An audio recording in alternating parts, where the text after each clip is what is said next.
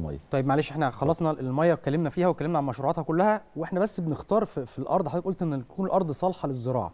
هل كل الأراضي الصحراوية صالحة للزراعة؟ لو ضفنا لها مثلا مجموعة من العناصر ولا في أراضي بتكون بالفعل سهل للزراعة فيها؟ لا بص هي الأراضي الصحراوية هي أراضي بتعتبر أراضي فقيرة وضعيفة. مم. فأنا لازم أعمل ما فيهاش. معادن ما فيهاش عناصر. آه طبعا. مم. هي أراضي معظمها أراضي ضعيفة. فأنت الإدارة بقى الزراعية لهذه الأراضي من خلال منظومة التغذية ومنظومه التسميد مع نظم الري الحديثة تقدر تضيف كل ال- الاحتياجات. لكن هي بتعتبر كل الأراضي الأراضي الصحراوية الرملية هي أراضي فقيرة. أما الأراضي الطينية الأراضي الرسوية فهي أراضي غنية لأن التكوين العنصري بتاعها والجيولوجي هي أراضي من من نواتج تعريه فطبعا وطمي النيل وكل الأمور دي بتبقى اللي موجودة فدي بتبقى أراضي غنية في عناصرها وبالتالي حجم احتياجاتها من العناصر والإمداد قليل يعني مش بتحتاج كتير لكن لازم الأراضي الصحراوية. ومن هنا طب لازم التنسيق اللي حصل وضع خطة كده إيه اللي يتزرع فين؟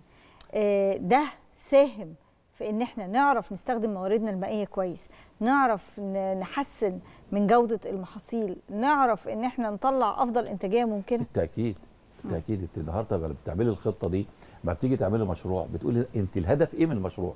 مم. يعني أنت ما بتعملي تخطيط مشروع. يعني إحنا لما بنقول النهارده توشكا أو بنقول شرق العوينات أو بنقول الدلتا الجديد طب الدلتا الجديدة أنت حطها فين؟ الموقع بتاعها فين؟ إيه المحاصيل اللي ممكن تزرعيها وتطلعيها؟ فأنت مكان قريب. يعني أنا مش هزرع توشكا خضار. وأطلعه عشان أصدره لأن المسافة بعيدة. لكن لما أجي أزرع ال- الدلتا الجديدة هزرع خضار هزرع فاكهة هزرع زهور زينة. كل الكلام ده تقدر تطلع من المنطقة لأن أنت عندك بطار برج العرب وعندك الشحن البحري فهنا التخطيط. ده أنا بحط خطة. أنا عايز إيه؟ أنا عندي خريطة لازم أعمل احتياجاتي من المحاصيل الاستراتيجية. أنا عندي محاصيل حبوب. إيه محاصيل الحبوب اللي أنا عايزها؟ عايز قمح وعايز ذرة. قمح شتوي ذرة صيفي. عايز محاصيل أعلاف. عشان كان. عندي إنتاج حيواني. وال- والقمح والذرة أصلا برضك بيدخلوا النخالة بتاعتهم في الأعلاف. النهارده عايز محاصيل زيوت عايز محاصيل سكر. طب أنا عندي مصانع السكر فين؟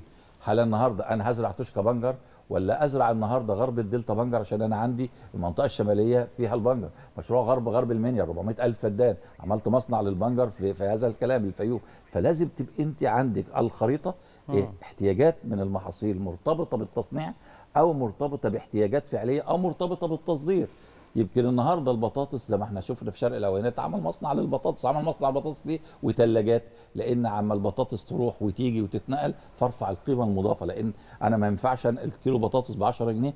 وأجيبه هنا وفي نفس الوقت فلازم ما اصنعه بقى هرفعه الكيلو هيتباع مجهز. ب 70 جنيه ولا ب 60 ودي. نقطة مهمة جدا هنتكلم فيها بعد الفاصل فكرة إنه هذه الأراضي اللي بيتم استصلاحها إزاي بتخلق مجتمعات تمام. جديدة مجتمعات آه، متكاملة تصلح كمان للحياة والناس تنتقل عشان تكون موجودة في هذه الأماكن فيها بقى زراعة وتصنيع وكل